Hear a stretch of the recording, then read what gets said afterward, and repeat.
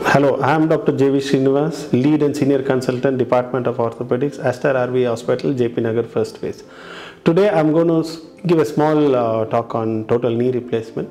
Total knee replacement ಅಥವಾ ಕನ್ನಡದಲ್ಲಿ ಮಂಡಿ ಮರುಜೋಡಣೆ ಆಪರೇಷನ್ ಅಂತ ಹೇಳ್ತೀವಿ this is a most common operation done of late in this medical field Total knee replacement is the most successful, most predictive, and most pain relieving operation in the history of medicine.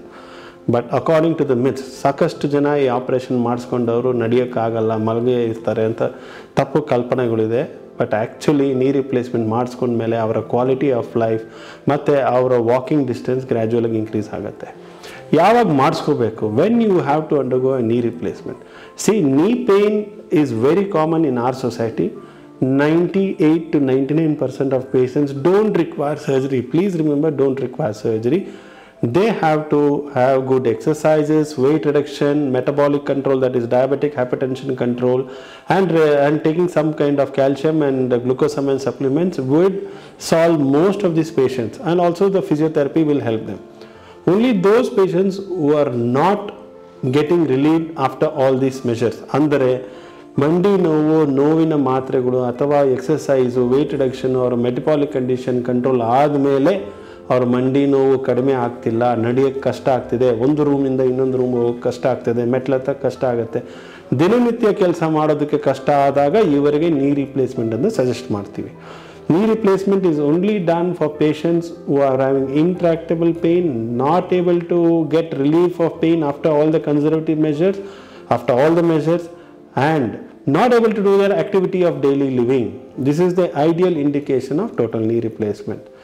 Knee replacement where the implants in Indian market was ranging from between 50,000 to 2.5 lakhs two years ago by the government policy, the central government policy, the implant prices have come drastically low. Those implants which were sold at 2 lakhs, 2.5 lakhs to the patients, today it is at 80 to 85, was 85 to 85,000. By God's grace and the help of central government, all the implant prices have come down. See, most commonly we were doing implants like uh, cobalt, chrome, and titanium. This is the most common implant which most of us were doing. The life of this, ಅಂದರೆ ಇದರ ಜ ಇದರ life ಹತ್ತರಿಂದ ಹದಿನೈದು ವರ್ಷ ಇರ್ತಿತ್ತು ಅಷ್ಟೇ ಕ್ರಮೇಣವಾಗಿ ಟೆಕ್ನಾಲಜಿ ಇಂಪ್ರೂವ್ ಆಗ್ತಾ ಆಗ್ತಾ ಸೆರಾಮಿಕ್ ಇಂಪ್ಲಾಂಟ್ಸ್ ಅಂತ ಬಂದಿದೆ. ಇದರ ಲೈಫ್ ಇಪ್ಪತ್ತೈದರಿಂದ ಮೂವತ್ತು ವರ್ಷಗಳವರೆಗೂ ಬರುತ್ತೆ. ಇದು ಪ್ಯೂರ್ ಆಕ್ಸಿನಿಯಂ ಅಂತೀವಿ, ಇದು ಪ್ಯೂರ್ ಟೈಟೇನಿಯಂ ಅಂತೀವಿ.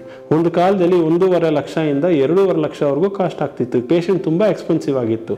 ಈಗ ಇದರ implant cost eighty to eighty five thousand ಅಷ್ಟೇ.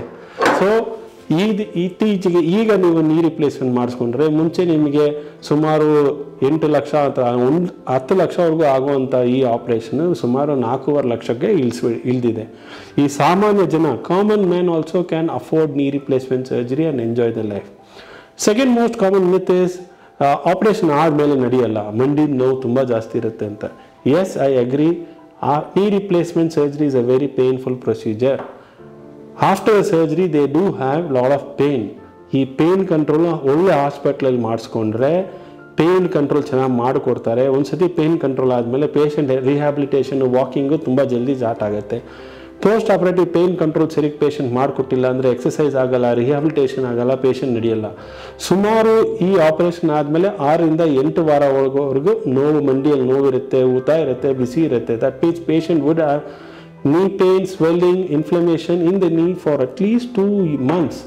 Patient should tolerate all this and be doing regular exercise for him to become normal. For a patient to undergo become normal after knee replacement takes three months. Till then, he has to tolerate all the symptoms and be doing exercise.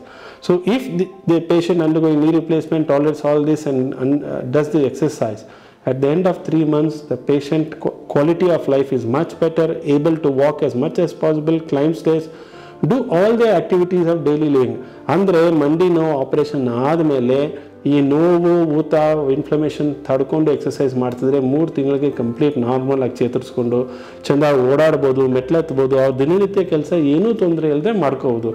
ಈ ಸ್ಟೇಜಿಗೆ ಬಂದಿರೋಂಥ patient ಧೈರ್ಯವಾಗಿ ಮಾಡಿಸ್ಕೊಳ್ಳಿ. ಇತ್ತೀಚೆಗೆ ಬಂದಿರೋವಂಥ technology hospital infrastructure ಸಾಕಷ್ಟು ಒಳ್ಳೆ results ಕೊಡ್ತಿದೆ. ಸುಮಾರು ತೊಂಬತ್ತೊಂಬತ್ತರಿಂದ ನೂರು ಪರ್ಸೆಂಟ್ವರೆಗೂ ಒಳ್ಳೆ ರಿಸಲ್ಟ್ ಬರ್ತಿದೆ. ಯಾವುದೇ ಕಾರಣಕ್ಕೆ ಪೇಷಂಟ್ ಎದುರ್ಕೊಂಡು ನಮ್ಗೆ ಆಪರೇಷನ್ ಬೇಡ ಅಂತ ಬೇರೆ ವಿಧಾನಕ್ಕೆ ಹೋದರೆ ತುಂಬ ಕಾಂಪ್ಲಿಕೇಶನ್ ಆಗುತ್ತೆ.